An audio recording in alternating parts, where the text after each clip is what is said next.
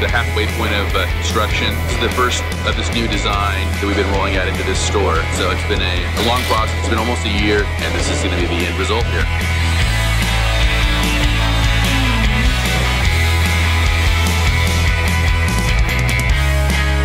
We're starting to evolve Rubio's with some interesting things around grilled seafood.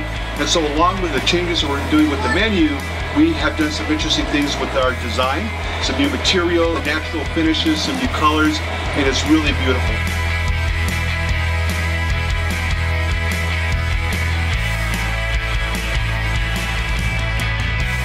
So if you get a chance, come by Rubio's Carmel Mountain Ranch and start to see our new look at a Rubio's near you.